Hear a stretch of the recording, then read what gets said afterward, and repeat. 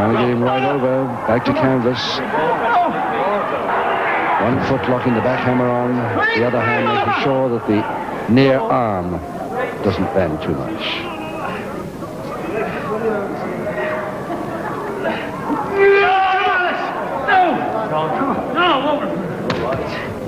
Count. One. Get the position he wanted, so Stewart tries to continue that move.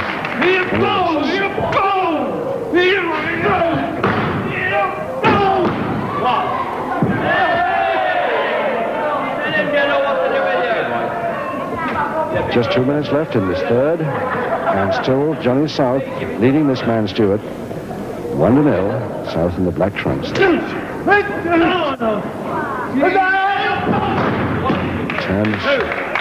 turned the rest as he threw him on a shoulder. And that was an attempt to a jump step over toe hold, but it didn't work quite, but he's still got the toe hold on if he wants it.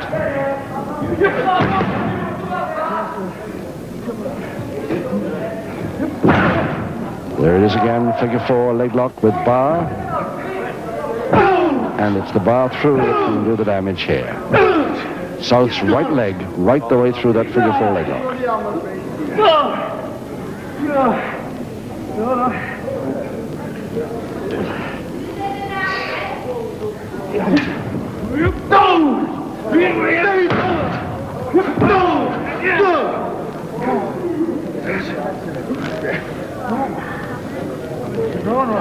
Under a minute now.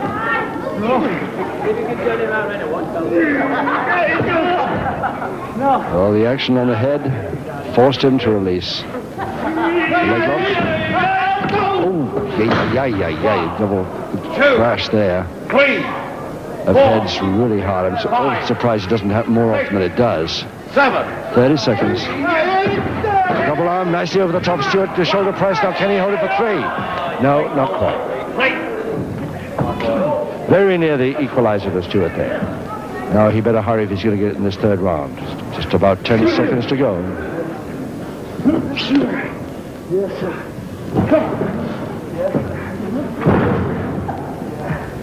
Come on. Now, feet. Wait, Bill, now. Wait.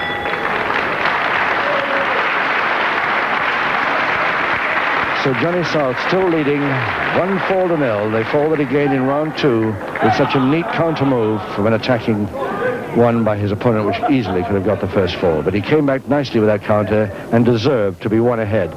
He still does. Bit lucky to get away with the one just now that almost got him back into the match. Seconds out, round four. Three rounds to go as we start the fourth. South in the black trunks, leading Stewart, one for the nil. Still no public or even private warning from referee Emil Qual up to now. Good sporting contest. And a full Jap Japanese stranglehold to Johnny South there. With a much tattooed forearms. Holding it up.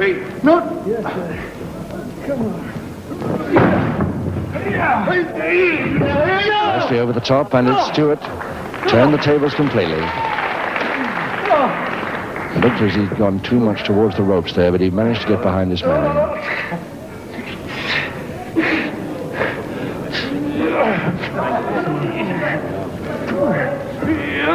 There's a lip slightly cut there, Johnny South, but I don't think he's probably even noticed it. John.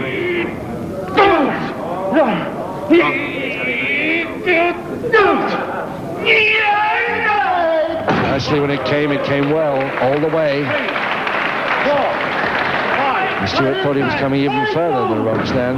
He looked at uh, us down at ringside here to say, I thought I was on you that time.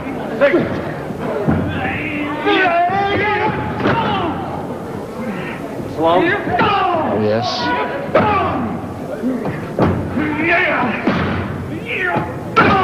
Perfectly legal. That's follow-up backhammer, but that isn't. That is not. He released. You can have one more attacking move after the release as long as it's immediate, but not two.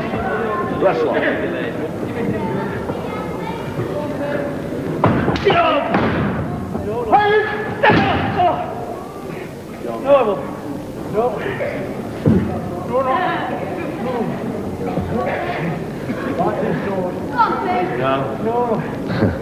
Toe hold from uh, Stewart this time. Toe and ankle now. Two, Took that leg right over. four, Five. There's a further weakness. six, Side head chance for Stewart. But it's South trying to counter waist hold and the flat of the hand to the stomach. The hand. two, three.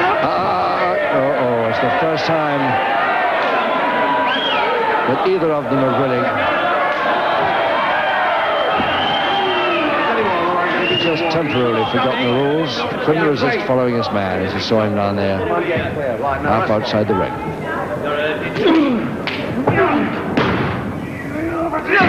And the figure four head scissors there. Notice the position of the left foot instep behind the right calf there, closing the head scissors on very hard indeed.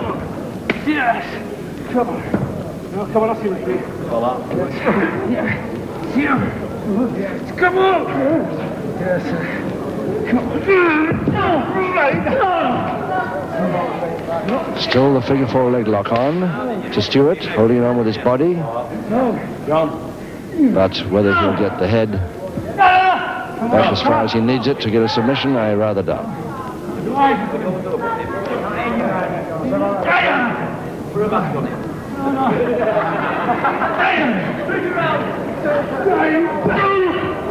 He's released the legs now, concentrating on the head with the stranglehold.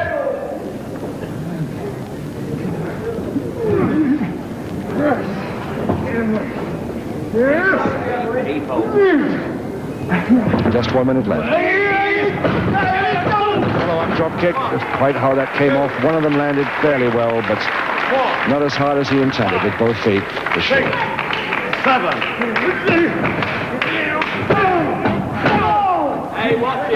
Watch hold again, slam. Just oh, a pile driver this time, and it's a oh. follow down cross press by South, and all he needs is this one, and it's his bout. One. No, sir. Reverse double knee hold. And every time South makes the referee look at the shoulder blades of his opponent, of course, he lands another illegal punch to the stomach. But the referee not fooled all. He spotted that. About 12 seconds to go.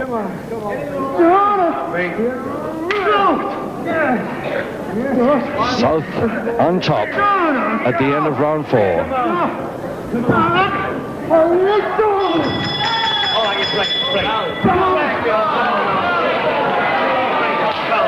Johnny South continuing as though he hasn't heard that bell, but not only was it very clear, but also the referee is right there, Emil Poilve, telling him to break.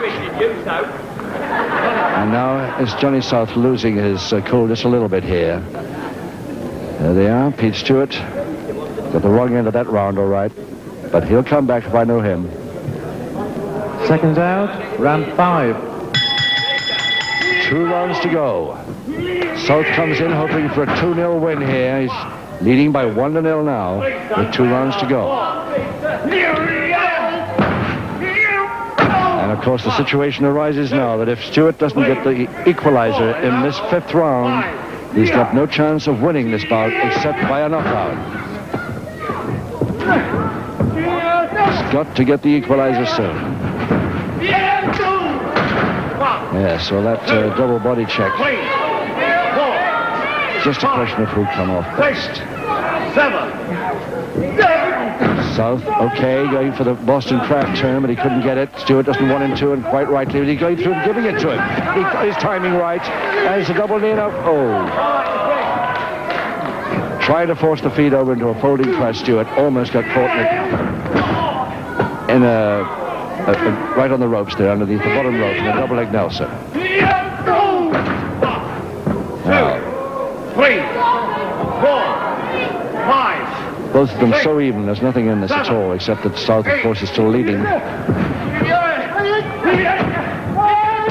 Four rounds arm smash good, nicely timed as his man came off the ropes, but he hurt his own arm doing it. Five, six, seven, Caught a bit too far up the arm near the elbow, and it really worried Stewart. And he's not going to make it, and that's it. A rather unlucky finish there for South, I would say. He just managed to stay another few seconds and beaten that count. He could have easily at least drawn the bout. And one minute, 30 seconds of round five. South failing to beat the count. The winner, the Duke, Pete Stewart. by a knockout in the fifth.